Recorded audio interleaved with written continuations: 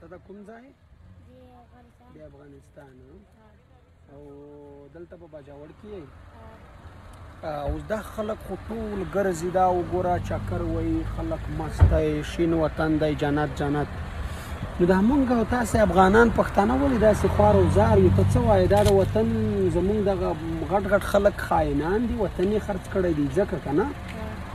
په افغانستان هیڅوک رحم نه کی کنه کچیرې زمونږ او تاسو وطن افغانستان را جوړ وای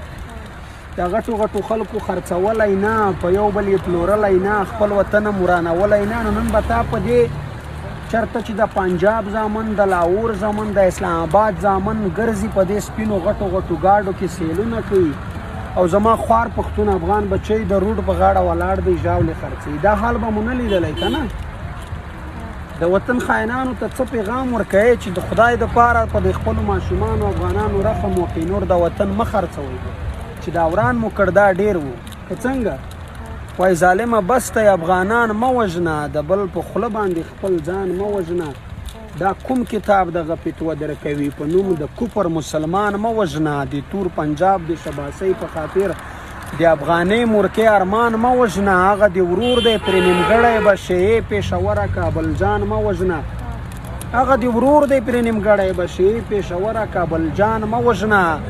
او د شرپسند او ترهګر په نامه زمونږ تر سره ماشومان مه وژنه خدایه دا یو سوال یې ضرور قبول کړه چې په بېننګ مرګ ګیلامان مه وژنه افغانانو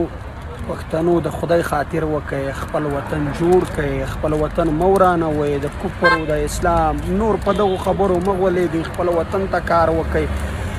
خپل ولسته کار وکړي چې سبا مو بچیان په دې روډونو خلک قسمه قسمه عیاشیان کوي په غټو غټو گاډو کې خلک ګرځي او زما پښتانه دا یو نه دی په خدای قسم په صلحاو د داسې بچیانو نظر اتیر شوم په دې لاره د سلهاو داسې ماشومانو نه راتیر شوم اخر می یو تحریر مې مخشې لیکلی و خدای یو ویډیو ما په تورې د ثبوت درته جوړ کړ چې د خدای خاطر وکړئ نور په خپل وطن په خپل ملت په خپل ولس رحم وکړئ